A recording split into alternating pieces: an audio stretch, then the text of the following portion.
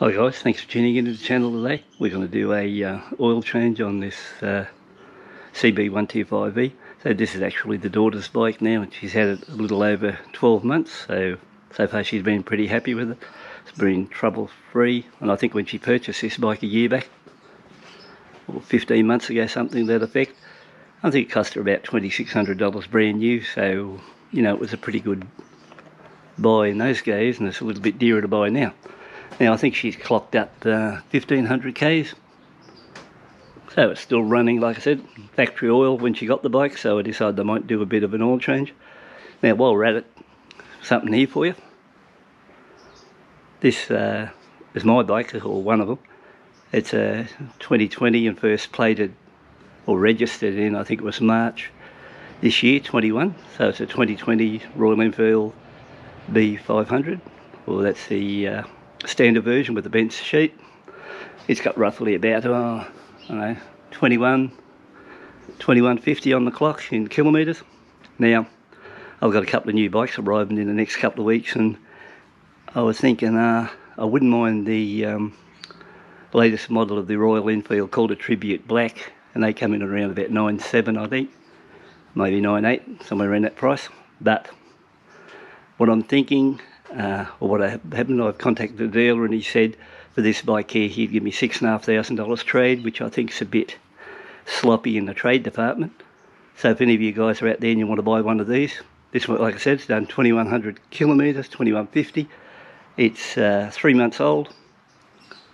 It comes with saddlebags on it too, so it roughly worth around $9,600. So anyone out there in Australia wants one of these, can come good with 7k. 7,000 will take it away. And I think for that sort of money, you're saving yourself roughly 2,000 on the normal price of the bike. And this one's got front number plate, saddlebags, frames, and really well looked after. And I think you'd be very happy with the bike. So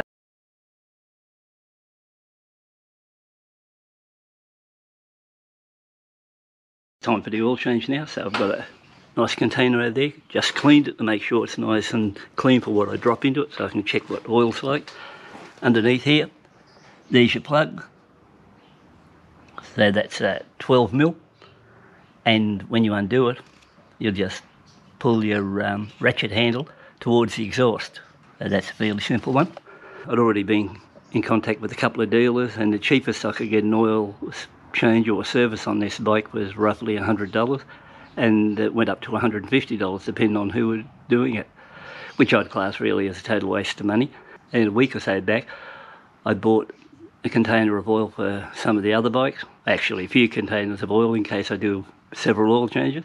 Now, this Gulf Western oil in 10W40, semi-synthetic, I bought that for $10 and it was normally dropped from I think $40 down to $10 so that's why I bought a few of them I figure I can do this oil change on this bike and it really hasn't got a filter so uh, I think they've got a spinner on the other side but they're a little bit more involved to get into.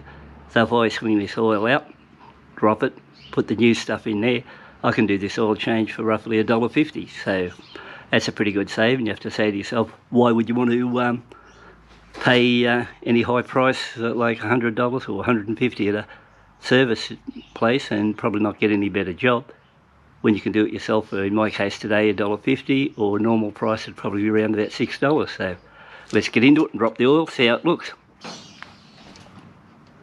Okay, I've released that one there now. So I'll just bring the,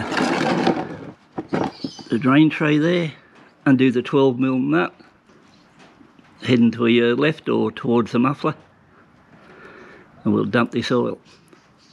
I'd expect to be pretty bad because it's been, like I said, first oil change for this bike. Got plenty of thread on it, that's for sure. Okay, it's dropped into that one.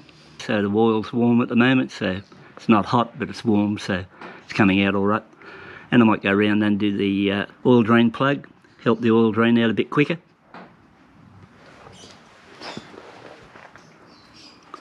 One thing about this CB125E is on the dipstick, it's got a nice big stalk on it there to give you an idea what oil's in the bike. So you shouldn't run this bike without oil. Earlier on I mentioned that these bikes haven't got a, what you call an actual screw-on oil filter. They've got a internal one, I think, on the right hand side called a spinner, which collects the rubbish and you have to pull the case off to get at that. There's my factory sump plug. On eBay Australia, I just typed in Postie Bikes magnetic sump plug, and that's it there. And I'm going to put this on this bike for her. And if there's any residue or metal filings floating around this motor over the next oil change, will it'll pick it up. And they're pretty powerful too, so if you look here, I also run on the other bikes like rare earth magnets at the bottom to give them a bit more pulling power. Idea works too, so this would be a good safeguard. Around $15, $20 they and that would save you uh, you know like a lot of rubbish circulating in the motor which probably is a good idea from the very start and I think it's a good move so that'll go on the sump there. Now so if you get here like this. There you are. Screws right up and you just torque it down. I usually just torque these by hand a little bit tighter than they were at the fully uh, fully run in position there. So you just get the uh, 12 mil and the ratchet and give it a little bit more and that's good enough. But there you see it sits beds there nicely. Like so. I'll see if I can find the magnets and put those on. Yeah so here's a rare earth magnet. Like um, I don't know there'd be about half a dozen there I'd say. So when you put it under here you can just bring them up. That's how much power they got once you got the magnets on. You watch. I'll see if it'll pull out of my hand from then just line it up there like that. But naturally before you do this make sure you do your sump plug up tight. But that's a rough idea and it sits on there like that. And it's got more drawing power and I found it works really good in other bikes and it'll work good on this one too. To the final stage what I like to do here pour this oil into this milk container and just see exactly how much of oil was pulled out of the bike then just have a look in the uh, oil tray there and just see if there's any rubbish in there. A little bit hard to do this one-handed but just have to bear with me. Now I can get it flowing a bit better.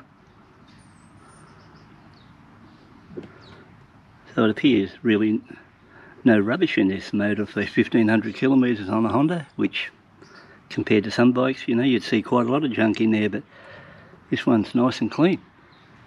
Then I'll mark the container with a permanent marker and then I'll have a rough idea how much oil's got to go back in the bike.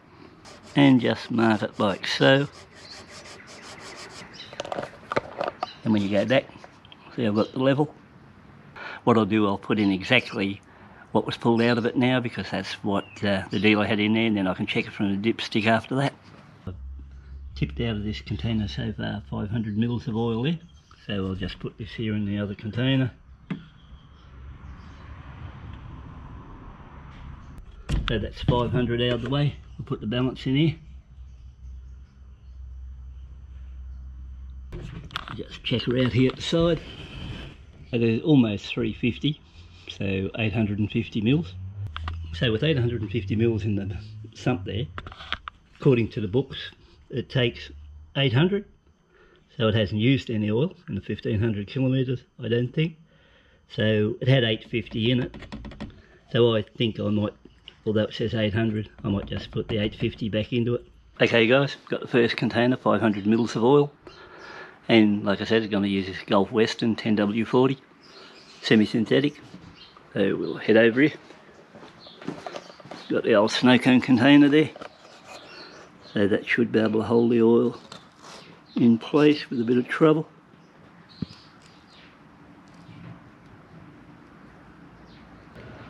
So there goes 500 mils now I'll just pick up another 350 so I think I'll put the 850 like I pulled out of it. But it's good enough for the dealer it's good enough for me okay there's 350 apart from a slight spill but not much you can do about that when you're doing all this one-handed. Put this back in the slot.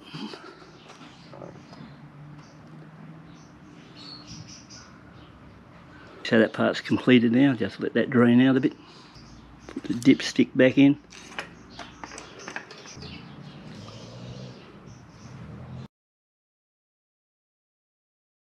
completes the oil change on this Honda CB125E. So total cost, I think it worked out roughly a dollar fifty. There's no filter on it, but what I did fit was the uh, optional magnetic sump plug for it. to Pick up any uh, metal particles floating around the oil over the next period of time she's riding it. So I think that'll be a good little bonus under there. And uh, I think overall, when you think of it, the dealer quotes for between 100 and 150 to do this first service. There's not much else you can do apart from uh, check air clean if you want to and some other, but half the time I don't think most of the dealers check anything anyway. So when you look at it for a dollar fifty in total to do this, or probably if you weren't getting your oil as cheap, maybe five or six dollars maximum. I think today's been pretty good, and she'll be able to get on this bike now and ride it for a couple of thousand k's before we get back to get there and drop it again and just see how that magnetic plug works. So once again, thanks for tuning in, take a look, catch up with you later.